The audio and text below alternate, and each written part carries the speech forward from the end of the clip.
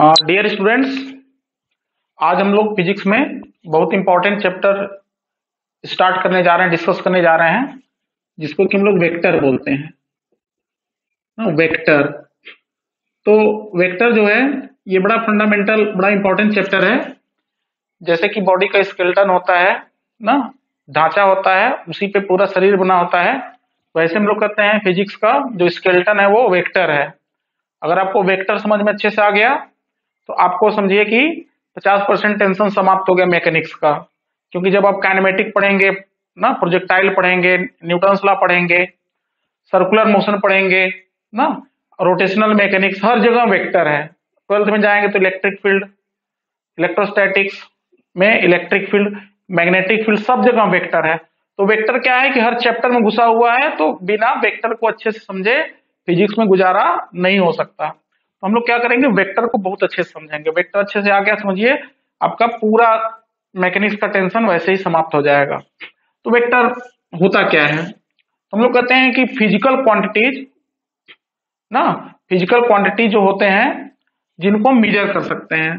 तो any quantity which can be measured any quantity which can be measured is defined as physical quantity जिनको हम नाप सकते हैं मेजर कर सकते हैं वो फ़िज़िकल क्वांटिटी होते हैं। जैसे फॉर एग्जांपल डिस्टेंस आपको 10 मीटर जाना है तो कहेंगे 10 मीटर जाना है। 20 मीटर जाना कहेंगे 20 मतलब अमाउंट ना? जिसको आप नाप सकते हैं 10 मीटर आप नाप सकते हैं फीता लेके। ठीक है? दो के आप तोल सकते हैं, पाँच के आप तोल सकते हैं। ठीक है? सेकेंड घड़ी सुई से आप नाप सकते हैं स्टॉप वॉच इतना सेकेंड तो ये जो क्वांटिटी जिनको मेजर कर सकते हैं, उनको हम लोग फ़िज़िकल क्वांटिटीज बोलते हैं। ठीक है?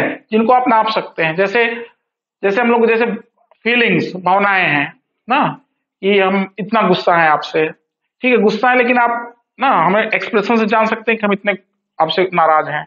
लेकिन आप उसको मेजर नहीं कर सकते। ठीक है, हम कहते हैं ना, इतना टन नाराज़ है नहीं कहते हम लोग, ना, या मैं इतना प्यार करता हूँ आपको ये तो हम लोग कहते नहीं कि इतना अमाउंट तो वो सब जो भावनाएँ वाली चीज़ें होती हैं, उसको हम लोग नाप मेजर नहीं कर सकते हैं। तो वो सब फ़िज़िकल क्वांटिटी नहीं आएँगे। फ़िज़िकल क्वांटिटी वही होंगी जिनको हम मेजर कर सकते हैं।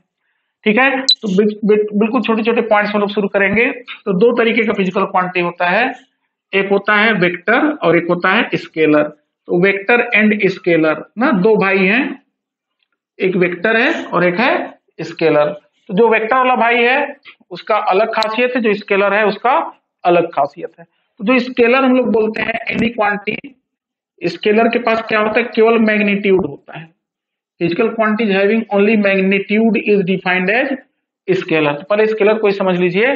जैसे आपसे कहा जाए ना कि जाइए दो किलो आलू लेके आइए। तो अब दुकान में जाएँगे तो क्या बोलेंगे? दो किलो आलू दीजिए। तो दो किलो आलू देखे तो आपको दे देगा। तो आप लेके चल देंगे। आप ये नहीं कहेंगे कि दो किलो आलू हमें ईस्ट में दे दीजिए, ना? ये आपसे पूछे कि आपकी एज क्या है? तो आप बोलेंगे ट्वेंटी ईयर। ये आप थोड़ी बोलेंगे ट्वेंटी ईयर अलोंग नॉर्थ। ना? तो ऐसी क्वांटिटी जिनको जानने के लिए केवल मैग्नीट्यूड ही काफ़ी हो, उसको हम क्या बोलते हैं? स्केलर बोलते हैं। जैसे कहें कि आप एक साइकिल जो है, ना? एक साइकिल दस मीटर चला, ना? टेन मीटर आप गए तो जो टेन मीटर गए आप, केवल टेन मीटर अगर बताए तो केवल अगर अमाउंट बताए कितना तो वो क्या कहलाता है? डिस्टेंस तो इसको बताए दस मीटर, ये नहीं बताए किस डायरेक्शन में। जब डायरेक्शन नहीं बताएँगे तो डिस्टेंस होगा। तो ऐसी क्वांटिटी क्या होती है? स्केलर होती हैं। फॉर एग्ज़ाम्पल डिस्टेंस हो गया स्पीड कोई गाड़ी चल रहा है टेन मीटर पर सेकेंड से, ना?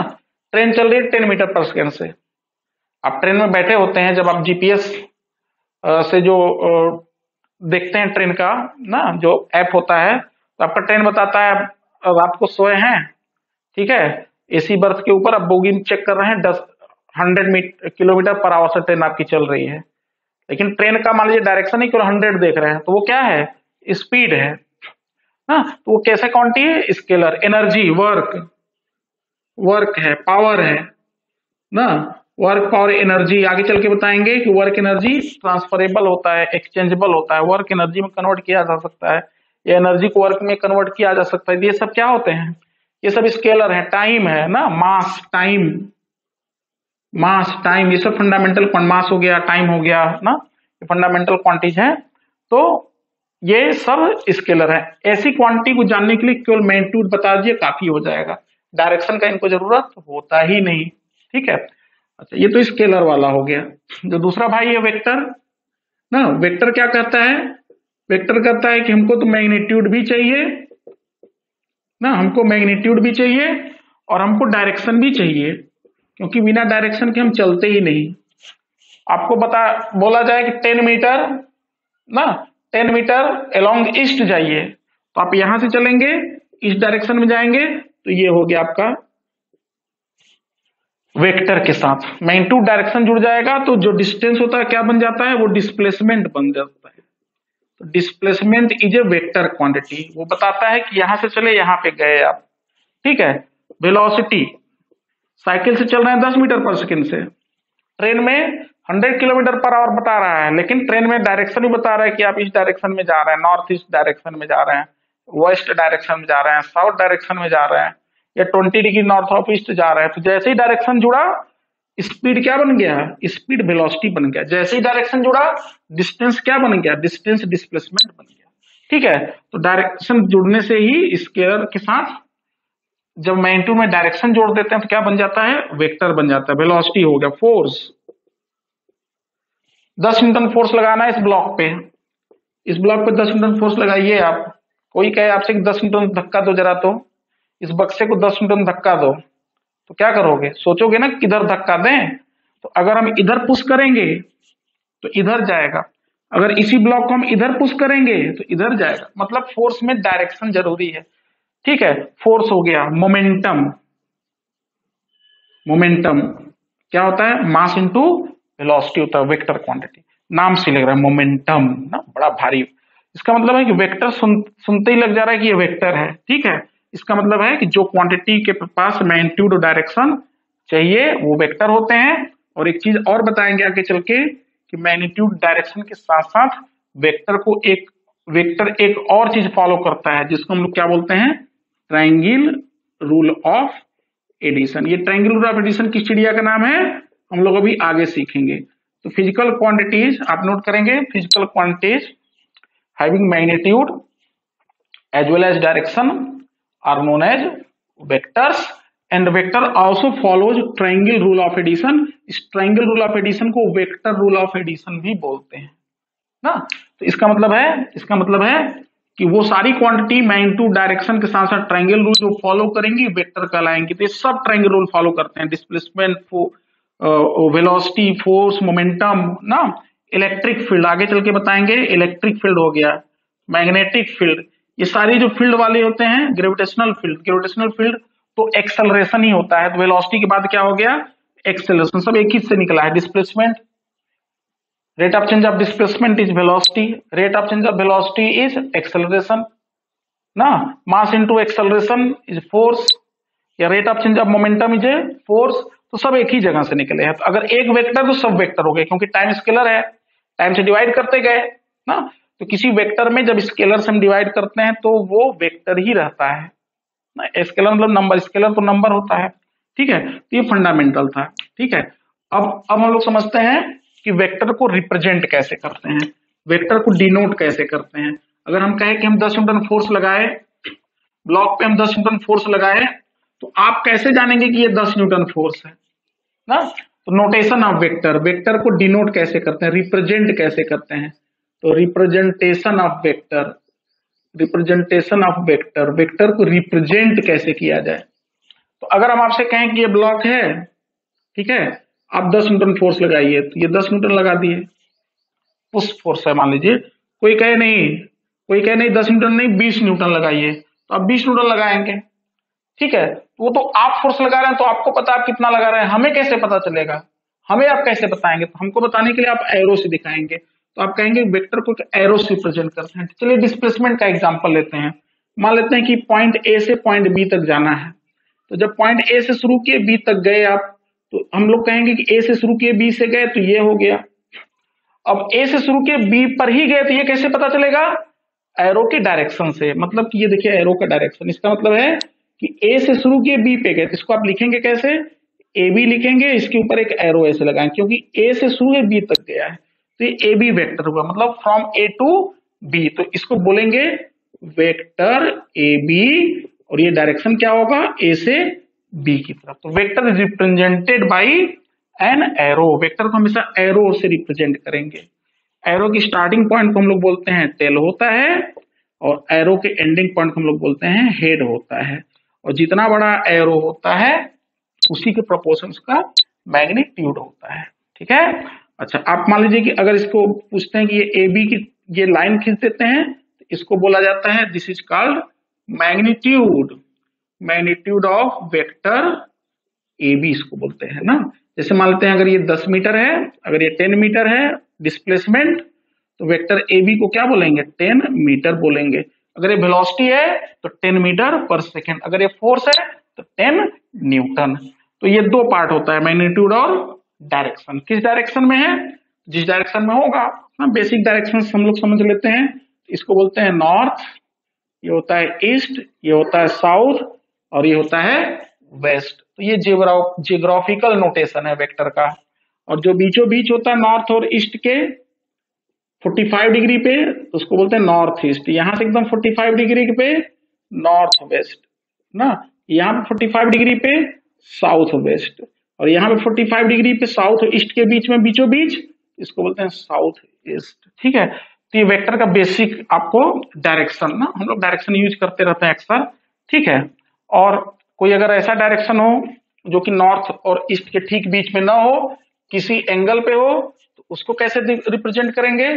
तो उसको उसका आप नोटेशन उसका नाम नाम लिखने का तरीका जान जाइए। अगर मान लेते हैं कोई वेक्टर है नॉर्थ से ईस्ट से मान लेते हैं नॉर्थ की तरफ़ है ट्वेंटी डिग्री पे या थर्टी डिग्री पे चल इस डायरेक्शन को बोलेंगे thirty degree north of east east से नॉर्थ की तरफ़ तो thirty degree north of east ठीक है? तो इसका मतलब है कि जहाँ से एंगल होगा, वहाँ से ऑफ़ लगाएँगे। अगर ईस्ट से एंगल है तो ऑफ़ ईस्ट होगा। अच्छा आपसे पूछेंगे, जरा बताइए कि thirty degree north of west कैसे बनाएँगे? तो कहेंगे वेस्ट से है नॉर्थ की तरफ़ तो ऐसे बन जाएगा। ये एंगल हो जाएगा थर्टी डिग्री एंगल हो जाएगा thirty degree north of west अच्छा यहाँ तीस तो यहाँ साठ होगा तो इसको आप ये भी बोल सकते हैं कि sixty degree sixty degree west of north बोल सकते हैं। समझ में आया? ठीक है? तो अच्छा कोई आपसे ये पूछेंगे बताइए ये वाला डायरेक्शन क्या होगा? ये थर्टी डिग्री पे है। बताइए। इसको क्या बोलेंगे? क्या बोलेंगे? सोच लिए? अब सुनिए। क्या होगा? इसको बोलेंगे thirty degree south of east, क्योंकि साउथ की तरफ़ है। तो जो सोचे थे सही है ना? बिल्कुल। ठीक है? इसका मतलब है कि ये है डायरेक्शन रिप्रेजेंट करने का तरीका। वेक्टर को एरो से रिप्रेजेंट करते हैं, जिस डायरेक्शन में होगा, उधर हम एरो दिखाएँगे, जिस एंगल पे उस एंगल पे दिखा देंगे। प्रोपोर्शन में होना चाहिए। अगर मान लेते हैं कि ये 10 न्यूटन का फोर्स है तो जो 20 न्यूटन का फोर्स होगा प्रोपोर्शन में क्या होगा? हमें तो कॉपी पे आपको ना कॉपी पे रिप्रेजेंट करना है ड्रॉ करना है, ना? इसका मतलब है कि जो 10 न्यूटन, अगर 10 सेंटीमीटर होगा तो 20 न्यूटन, उसी प्रोपोर्शन में 20 सेंटीमीटर का होगा। ठीक है? मतलब कि एक तरीके से जूम कर देंगे, ना? जूम जैसे स्क्रीन पे करते हैं मोबाइल पे जूम तो मतलब 10 न्यूटन है तो उसको जूम करके डबल कर देंगे तो 20 न्यूटन हो जाएगा। जूम करके आधा कर देंगे तो 5 न्यूटन हो जाएगा। बात समझ में आया? तो ये उसी प्रोपोर्शन में ड्रॉ करते हैं मैग्नीट्यूड को, जिस प्रोपोर्शन में, उसी प्रोपोर्शन में लेंथ लाइन का रखते हैं वेक्टर का, जिस प्रोपोर्शन में उसका मैग्नीट्यूड होता है। इसको बोलते हैं कि ये यहाँ शुरू, यहाँ से खत्म। अगर दस न्यूटन है मतलब ये इस डायरेक्शन में है। अगर एरो ऐसे कर देंगे तो ये क्या हो जाएगा? उल्टा हो जाएगा। मतलब ठीक है? इसका मतलब है कि वेक्टर का कुछ खासियत होगा डायरेक्शन अगर है तो कुछ इसका प्रॉपर्टी होगा। तो हम लोग कुछ इसका वेक्टर का बेसिक प्रॉपर्टी देखते हैं। कुछ फंडामेंटल वेक्टर की प्रॉपर्टीज़ देखते हैं। तो आप लिखेंगे properties of vector properties of vector ठीक है? प्रॉपर्टीज़ ऑफ़ वेक्टर तो छोटी छोटी बातें हैं समझने के लिए। जैसे मान लेते हैं कि ये हम समझी गए कि एरो से रिप्रेजेंट करते हैं। अगर हम कहते हैं कि ये 10 न्यूटन का फोर्स ईस्ट डायरेक्शन में है, हम लगा रहे हैं और आप 10 न्यूटन फोर्स जरा वेस्ट डायरेक्शन लगाइए। क्या होगा रिजल्टेंट क्या होगा? दोनों को जोड़ने में क्या आएगा? हम दस से आगे खींच रहे हैं, आप दस से बाएँ, पीछे खींच रहे हैं। तो बच्चे से भी पूछेंगे तो क्या कहेगा? बच्चा कहेगा कि ज़ीरो ना? इसको बोलते हैं नल वेक्टर तो नल वेक्टर क्या होता है? नल वेक्टर होता है कि वेक्टर जिसका की मैग्नीट्यूड ज़ीरो हो और ज़ीरो को कोई डायरेक्शन नहीं होता है। तो चूँकि वेक्टर इसको सम्मान देने के लिए ऐसे लिखते हैं this is called null vector ना नल वेक्टर है। इसका मतलब है कि अगर ये फोर्स F1 है और अगर इस फोर्स को F2 बोलते हैं, ठीक है? तो देखिए ध्यान से, अगर वेक्टर इधर होगा तब भी एरो इधर ही लगाएँगे और इधर होगा तब भी एरो इधर ही लगाएँगे। ये नहीं कि वेक्टर पीछे है तो हम F2 को ऐसे लिखें, ऐसे नहीं लिखते।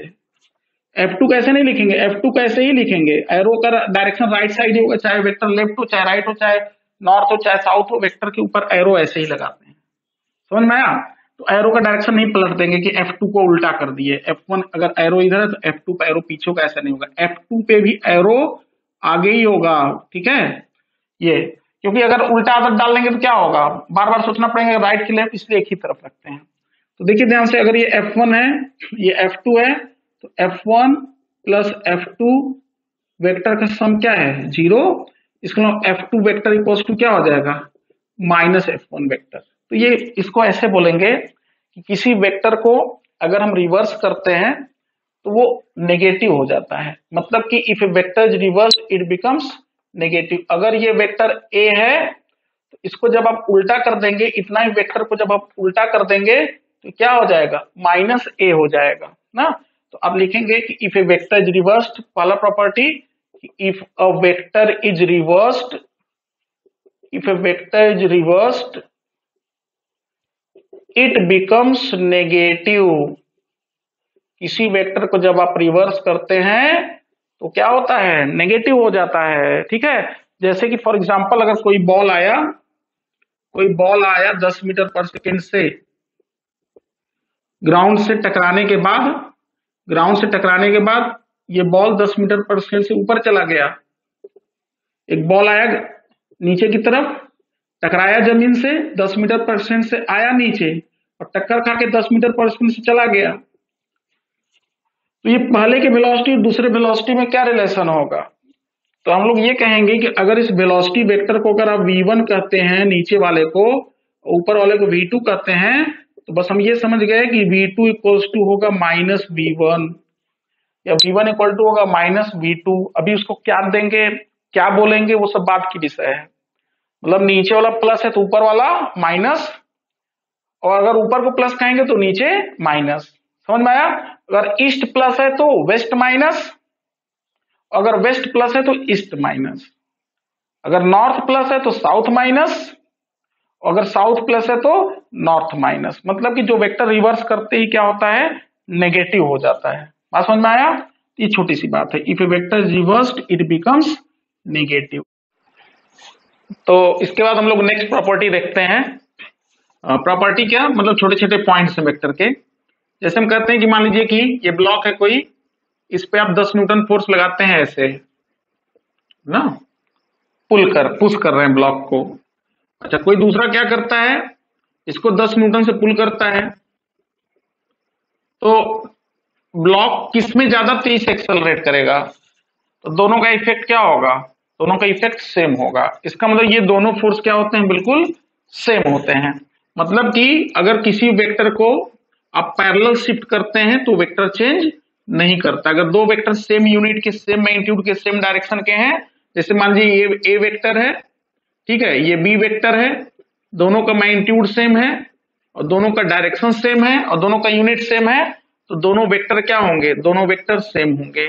मतलब कि इफ़ ए वेक्टर किसी वेक्टर को स्पेस में आप कहीं ले जाइए, कहीं शिफ्ट करिए पैरेलल रहेगा तो वो चेंज नहीं करता। If a vector shifted parallel to self it remain the same ये इंपॉर्टेंट प्रॉपर्टी किसी वेक्टर को पैरेलल शिफ्ट करने से वेक्टर चेंज नहीं करता है। तो सेकेंड प्रॉपर्टी है कि if a vector is shifted parallel to self vector remain the same ठीक? तो अब इसके बाद हम लोग क्या देखते हैं कि वेक्टर जो है, दो वेक्टर के बीच एंगल कैसे निकाला जाता है? ये सब छोटी छोटी पॉइंट को सीखेंगे तो फिर इस सबको हम आराम से यूज़ कर पाएँगे। To find angle between two vectors दो वेक्टर के बीच एंगल बिटवीन टू वेक्टर्स दो वेक्टर के बीच एंगल हम लोग कैसे निकालते हैं? कैसे पहचानते हैं कि कौन सा एंगल लेना है? ना, जैसे एग्जांपल देते हैं कि मान लेते हैं कि कोई ए वेक्टर इधर की तरफ़ है, ये बी वेक्टर इधर की तरफ़ है, ना, या चलिए ये ए वेक्टर है, ये बी वेक्टर है तो ए का डायरेक्शन इस डायरेक्ट इधर है बी का डायरेक्शन इधर है, या ए इसको कहते हैं तो ए इधर है बी इधर है। तो हम लोग कहते हैं कि अगर उनका दो वेक्टर का टेल और टेल एक साथ हो तो जो ये छोटा वाला एंगल होता है, देखिए दो एंगल होता है, एक छोटा वाला, एक बड़ा वाला। तो कौन सा एंगल लेंगे हम लोग? हम लोग हमेशा छोटा वाला लेते हैं। थीटा और अल्फ़ा दो एंगल है, लेकिन अल्फ़ा नहीं लेंगे। कौन सा लेंगे? ये थीटा वाला। तो हम लोग कहते हैं कि एंगल निकालने के लिए दो वेक्टर का joint tail to tail joint tail to tail together दो वेक्टर का टेल और टेल एक साथ रखिए। Joint tail to tail together the smaller angle is the smaller angle is the smaller angle is angle between two vectors ठीक है? दो vector का एंगल निकालने के लिए हम लोग कहते हैं उनका टेल से टेल मिलाइए, ना? टेल से टेल दोनों का पूंछ पकड़ लीजिए टेल से टेल मिला लीजिए, और जो छोटा वाला एंगल होगा वही होगा, ना? जैसे एग्जांपल लेते हैं, मान लेते हैं कि एक वेक्टर ये है, ठीक?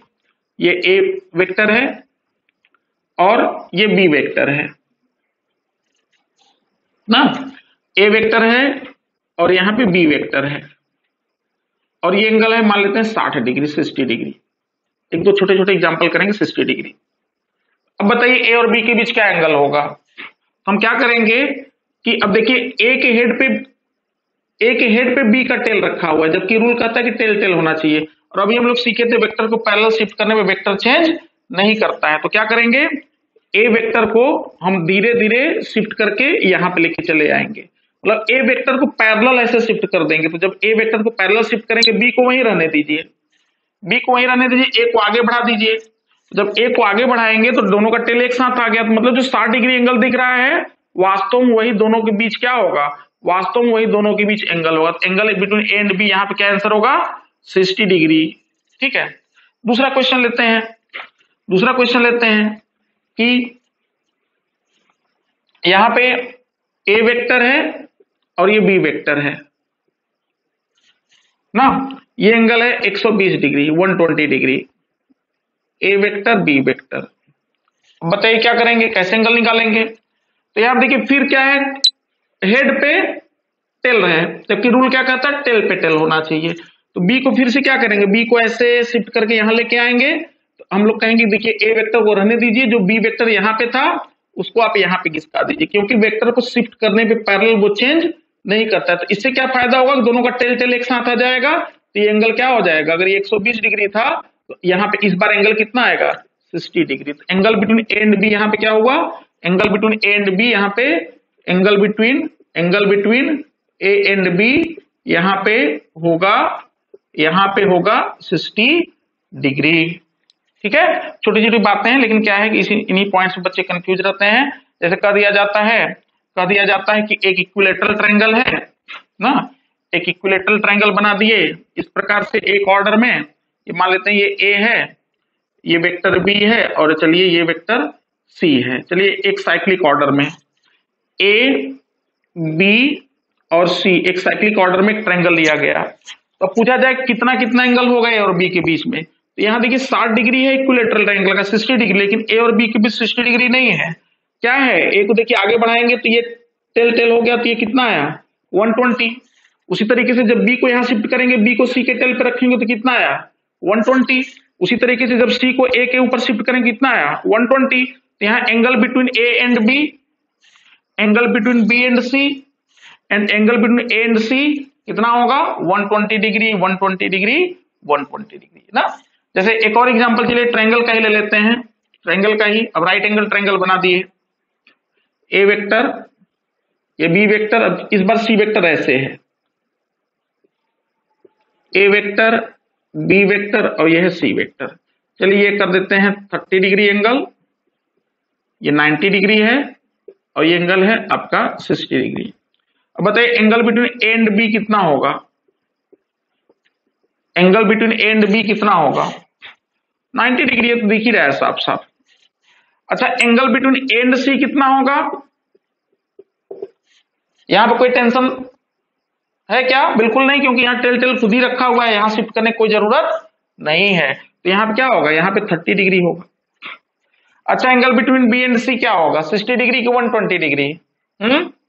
आप सोच रहे हैं वन ट्वेंटी डिग्री शिफ्ट करना है? नहीं। क्योंकि देखिए, यहाँ पे क्या होगा? यहाँ पे बी और सी को जब बी ऐसे आगे बढ़ाएँगे, ऐसे आगे बढ़ाएँगे, ठीक है? तो इसका मतलब है कि जब बी को आगे बढ़ाएँगे और सी को आगे बढ़ाएँगे, दोनों का टेल टेल लाएँगे तो क्या आएगा? टेल टेल भी कितना बनाएगा? साठी डिग्री बनाएगा। मतलब जब दो वेक्टर का हेड और हेड हो तो वहाँ पे दिमाग नहीं लगाना है, क्योंकि हेड और हेड अगर ज्वाइन होता है, दो वेक्टर का हेड और हेड जुड़ा है तो जब इसको आगे शिफ्ट करेंगे तो क्या होगा ये? अल्टरनेट एंगल होगा तो हेड और हेड, या टेल और टेल क्या आएगा? सेट इसका मतलब एंगल बिटवीन बी और सी क्या होगा?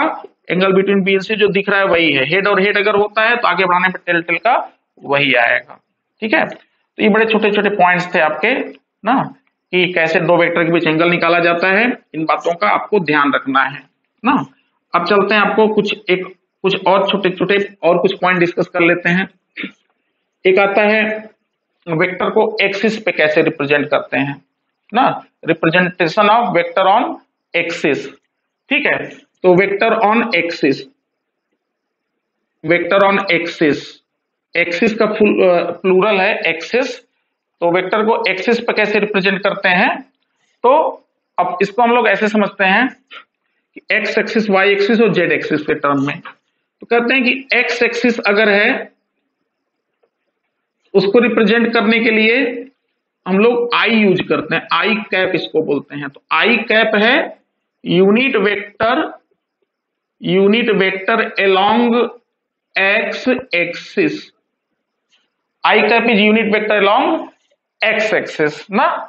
इसका मतलब है कि अगर कोई वन यूनिट एक्स पे है तो वो आई कैप कहलाएगा। वन मीटर एक्स पे, I cap metre. One metre per second X पे, I cap metre per second. One newton X पे तो आई कैप न्यूटन।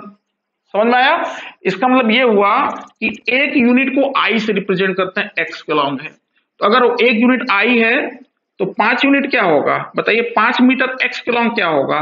तो कहेंगे फाइव आई क्योंकि हमको क्या करना है? हमको डायरेक्शन कौन बता रहा है? आई बता रहा है मैग्नीट्यूड कौन बता रहा है? फाइव बता रहा है तो फाइव आई मिल जाएगा तो क्या हो जाएगा? Five unit five unit along X axis हो जाएगा। उसी तरीके से वाई एक्सिस को रिप्रेजेंट करने के लिए, उसी तरह के वाई एक्सिस को रिप्रेजेंट करने के लिए जे होता है। ना? तो जे कैप तो J cap is unit vector unit vector along Y axis along Y axis मतलब एक मीटर वाई में है तो उसको जे कैप बोलेंगे। तो अगर एक मीटर वाई में जे है तो पाँच मीटर क्या होगा? तो पाँच मीटर हो जाएगा फाइव जे कैप आई जे के के होता है जेड एक्सिस के लिए। एक्स एक्सिस के लिए आई वाई एक्सिस के लिए जे और जेड एक्सिस के लिए जेड एक्सिस के लिए हम लोग के कैप यूज़ करते हैं। This is unit vector along Z axis ठीक है? मतलब ये एक्स एक्सिस वाई एक्सिस और ये बाहर की तरफ़ क्या होता है? जेड एक्सिस होता है। तो ये हो गया आई कैप ना? ये हो गया आई कैप ये हो गया जे कैप और ये बाहर की तरफ़ क्या हो गया? के कैप हो गया। बात समझ में आया? ठीक है? तो ये छोटे छोटे आपके पॉइंट्स हैं, जिनको आप आराम से समझेंगे। जैसे अगर हम आपसे कहें कि, जैसे हम आपसे कहें कि टेन मीटर वेस्ट में है। अगर ईस्ट को हम लोग आई कहते हैं तो वेस्ट को क्या कहेंगे? माइनस आई अगर टेन मीटर वेस्ट में तो कैसे रिप्रेजेंट करेंगे? ऐसे रिप्रेजेंट करेंगे एक्स एक्सिस पे। ठीक है? तो ये क्या होगा? ये जो वेक्टर होगा, वो माइनस टेन आई होगा। क्योंकि ये नेगेटिव एक्स में है तो पॉजिटिव एक्स में प्लस है नेगेटिव एक्स में माइनस आई उसी तरीके से कोई कहे कि फाइव मीटर जो है निगेटिव वाई में है तो ये क्या होगा? ये होगा फाइव जे लेकिन चूँकि अपोजिट है तो माइनस क्योंकि वेक्टर को रिवर्स करने पर क्या होता है? नेगेटिव ऊपर है तो प्लस नीचे है तो क्या हो जाएगा? माइनस हो जाएगा। समझ आया बात? उसी तरीके से जेड एक्सिस में अगर बाहर की तरफ़ है तो फाइव के और इनटू प्लेन है तो माइनस फाइव के ठीक है? तो जेड एक्सिस को हम लोग डॉट से ऐसे रिप्रेजेंट करते हैं। X axis Y axis Z axis को अगर रिप्रेजेंट करना हो तो डॉट डॉट मतलब प्लस जेड होता है और क्रॉस मतलब होता है माइनस जेड एक्सिस डॉट मतलब बाहर की तरफ़ क्रॉस मतलब अंदर की तरफ़। Into plane of paper out of plane of paper ठीक है तो ये क्या हो गया? तो ये होगा के और ये होगा माइनस के और जितना यूनिट होगा, उतना हम लोग लगा देंगे। वेक्टर का बेसिक इंट्रोडक्शन है। ये इसको आप आराम से समझिए। इसके बाद फिर हम लोग देखेंगे एडिशन ऑफ़ वेक्टर ठीक?